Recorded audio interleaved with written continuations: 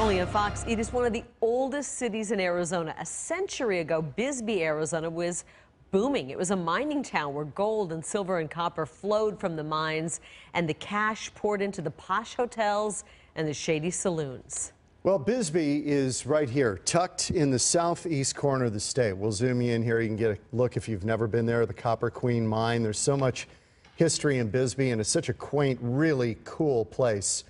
And again, of course, all of that filled with copper. But far from being a ghost town, Bisbee has made a comeback thanks to tourism.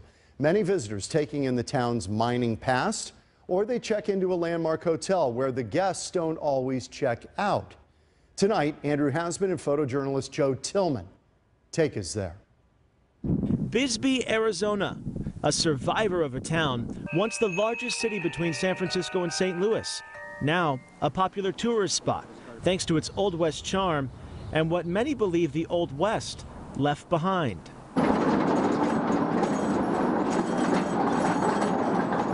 Bisbee's history is mining. You can credit its explosive growth around the turn of the century to the Copper Queen mine.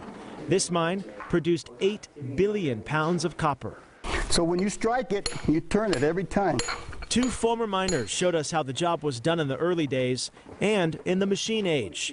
This was never easy or very comfortable work even at break time. They were all two-seaters, you know. I worked eight years underground. I don't know about Donnie, but I never saw two miners on it at the same time, just to let you know that. they weren't the best smelling things underground.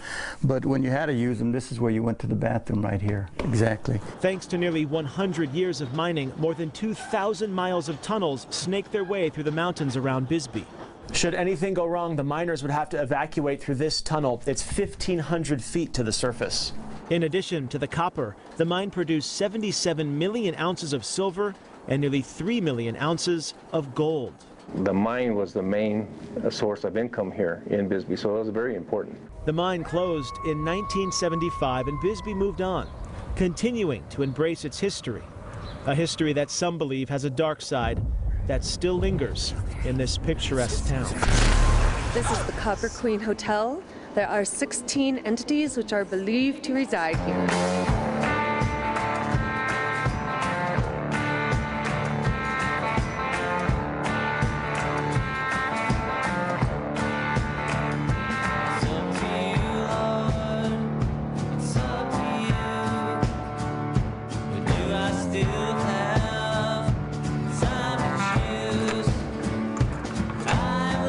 Oldest continuously operating hotel in Arizona and the crown jewel of Bisbee, the Copper Queen still has its turn of the century charm. It was built for rich mining executives. Today, it hosts mostly tourists, many of them hunting ghosts.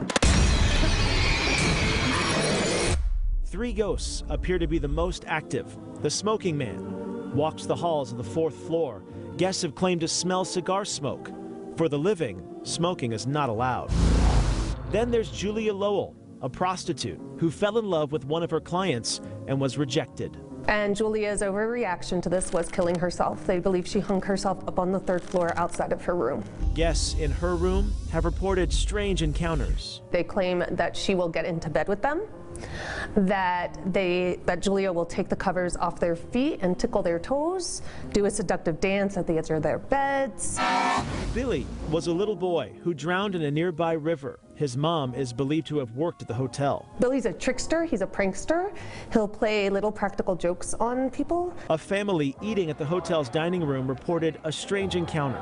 Their little girl kept climbing underneath the table and she'd come back up and then she'd climb back underneath the table and they finally asked her what are you doing and she said i'm playing with billy guests are encouraged to write about their experiences in a book kept at the hotel's front desk on August 8th, one group of guests who stayed in Julia's room wrote they experienced floral smells and loud sounds, a squeezed arm, dizzy spells, and dropping temperatures. Another guest wrote on October 11th, we had two incidences in room 412, Billy's room. First was the door locked on its own. The second happened to their grandson. He became sick during the night. It's not just the Copper Queen. Other spots in Bisbee have a dark side too.